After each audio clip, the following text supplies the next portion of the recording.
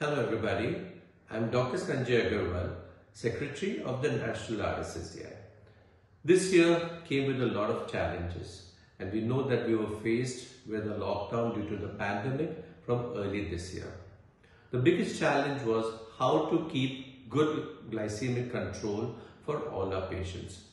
We know from various studies that uh, poor control of blood glucose leads to adverse outcomes.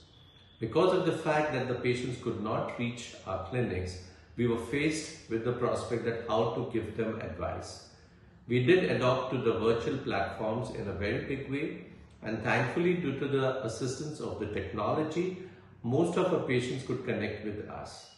We have ensured that during the entire period of lockdown and afterwards, we have connected with them, monitored their blood sugars and given the best possible advice. I think for a long time this virtual platform is going to stay till all of us are feeling secure and probably out of this pandemic. Uh, the virtual platforms have matured in a very big way and probably now you know a lot of patients do accept this platform for connecting with their doctors. So while we continue to treat patients at our clinics, for those who can't reach or are located in remote areas, we do continue to extend the best possible support.